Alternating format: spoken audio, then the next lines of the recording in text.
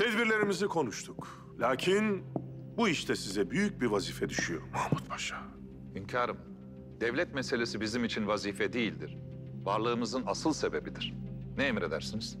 O halde paşa, evladınızla konuşacaksınız.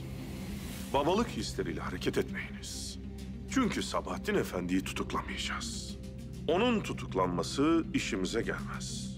Sabahattin Efendi Jön Türk Kongresi'ni toplayacak. Ve biz o kongreden evvel Jön Türklerin kirli ilişkilerini mutlaka ispatlayacağız. Hünkârım, babalık hislerimi bir kenara bırakacağım. Siz ne emrederseniz onu yapacağım. Âlâ. Belki evladınız sizinle görüşmek istemeyecektir. Lakin siz onu mutlaka bulacaksınız. Sabahattin Efendi Seniha Sultan'la görüşecektir. Seniha Sultan'ı ikna ediniz. Fikirlerinizin değiştiğini, artık Sabahattin Efendi'nin yanında yer alacağınızı söyleyiniz. Hünkârım, inanırlar mı ki? İnandıracağız paşa. Gerekirse Ahmet Paşa'yı peşinize salarım, o vakit herkes inanır. İnandırırsınız paşam. Hünkârım, inşallah lüzum olmaz. Sabahattin Efendi ile yeniden temasa geçeceksiniz Mahmut Paşa. Ahmet Paşa, Sabahattin Efendi sizi sima olarak tanımaz. Sabahattin Efendi'yi göz hapsinde tutacaksınız. Kimle haberleşiyor? Etrafında kimler var? Neler tertipliyor? Ermeni çetecilerle nasıl bir işbirliği içinde her şeyi takip edeceksiniz.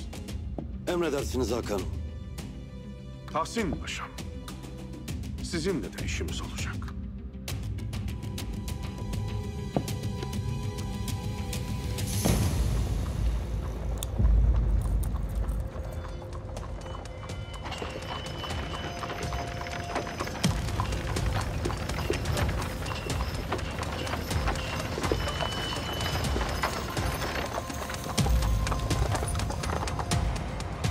Geldik.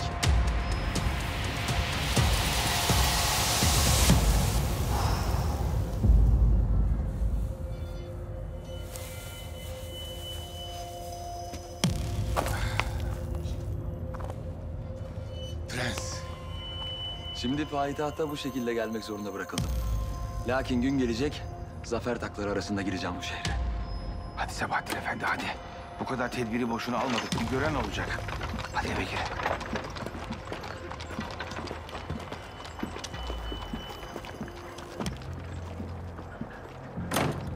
Beni dinleyin şimdi.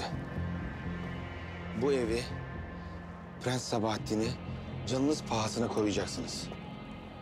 Bunun için para aldınız. Kıyafetleriniz güzel olmuş. Bu şekilde sizi kimse tanımaz. Şimdi bu kıyafetlerin gerektirdiği şekilde sokakta tedbirler alın. Dikkat çekmeyin. Tamam? Hadi.